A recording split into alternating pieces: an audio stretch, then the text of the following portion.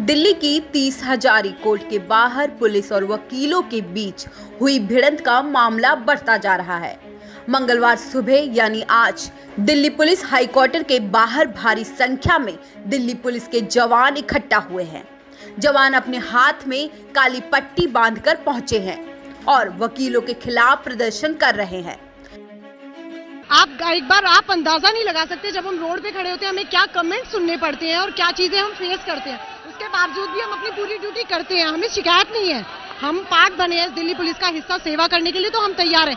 पर इस तरीके से पिटाई खा के हम कोई सेवा करने के हम कैसे हम ड्यूटी करें या फिर अपनी नौकरी बचाएँ? जवानों के प्रदर्शन के बीच दिल्ली पुलिस कमिश्नर अमूल्य पटनायक ने कहा कि यह हमारे लिए परीक्षा की घड़ी है। सभी जवान शांति बनाए रखें और अपनी ड्यूटी पर वापस लौटें। आपको बता दें कि पुलिस जवानों की मांग है कि वकीलों के खिलाफ एक्शन लिया जाना चाहिए। उन्हें लगातार डर बना हुआ है कि शहर में कहीं पर भी उन पर हमला हो सकता है। दिल्ली पुलिस और वकीलों के बीच चल रहे मामले में केंद्रीय गृह मंत्रालय को रिपोर्ट मिल गई है। दिल्ली पुलिस ने इस रिपोर्ट को सौंपा है। दिल्ली पुलिस और वकीलों के बीच जारी जंग के बीच कांग्रेस ने केंद्र सरकार पर हमला बोला है।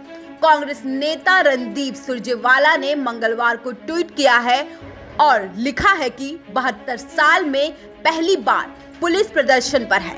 क्या ये है बीजेपी का न्यू इंडिया? देश को बीजेपी कहाँ ले जाएगी? कहाँ गुम है गृह मंत्री अमित शाह? मोदी है तो मुमकिन है। इस मामले को लेकर दिल्ली की सभी जिला अदालतों में आज भी वकील हड़ताल पर है। किसी भी कोर्ट में जज के सामने वकील ना तो खुद पेश हो रहे हैं और ना ही मुवक्किल को कोर्ट परिसर के अंदर जाने दिया जा रहा है। वकील की मांग है कि तीस हजारी कोर्ट में हमला करने वाले पुलिस कर्मियों को तुरंत गिरफ़्तार किया जाए। हालाँकि दिल्ली हाई कोर्ट में इस हड़ताल का कोई असर नहीं है। हाई कोर्ट और सुप्रीम कोर्ट में और दिनों की तरह कोर्ट में मामलों की सुनवाई चल रही है।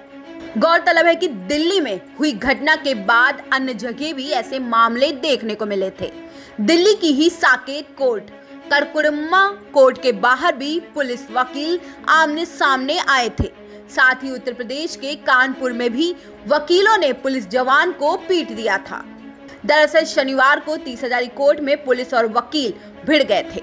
दोनों के बीच मामला इतना बढ़ गया कि पुलिस को फायरिंग करनी पड़ी, जिसके बाद वकीलों ने पुलिस जीप समेत कई वाहनों को आग लगा दी थी और तोड़फोड़ की। आपको बता दें कि तीस हजारी कोर्ट के लॉकअप में जब एक वकील को पुलिस जवानों ने अंदर जाने से रोका था, उसी के बाद कहा सुनी बढ़ गई थी और दोनों पक्ष आमने सामने आ गए थे।